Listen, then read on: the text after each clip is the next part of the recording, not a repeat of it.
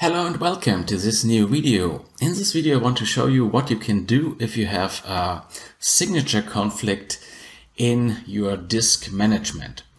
And as you can see here, I have two disks attached here to my computer and the second one here is marked offline. And if I hover over the I symbol here, it will tell me offline, the disk is offline because it has a signature collision with another disk in that is online. Okay, each disk in Windows has a unique ID. Um, and if uh, you have a duplicate ID, then you will get this error. How do you get a duplicate ID? Because they are, well, generated random. Well, this happens if you use a tool like Minitool Shadowmaker to clone your hard disk. And then if you have both disks attached to a computer, the original one and the cloned one, then you will run into this problem here and Windows will set the second disk offline. Okay, the problem is easily solvable, but first we want to uh, have a look how we can find out the ID of the disk. Okay, in order to have a look to the IDs, we will start a command prompt here.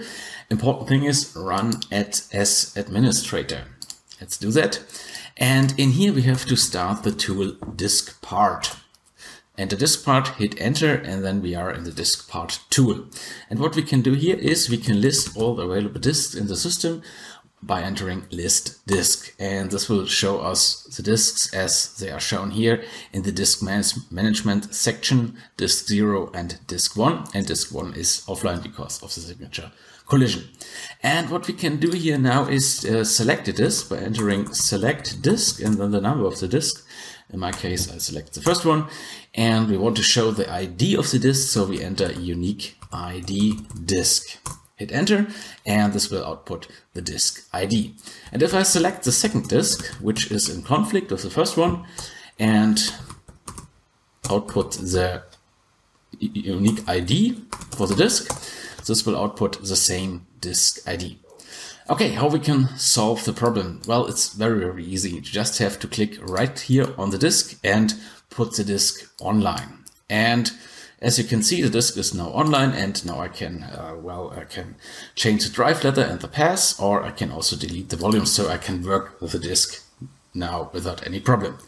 And in the background, what Windows does is it changes the ID in this case when I set the disk online. And if I enter unique ID disk here in again with DiskPart, you can see that the disk ID is now changed. So the disk ID will be generated again. So the disk is now usable in the computer. And well, that's all that's to it. That's how you can solve the problem if you have a signature collision in disk management. Goodbye.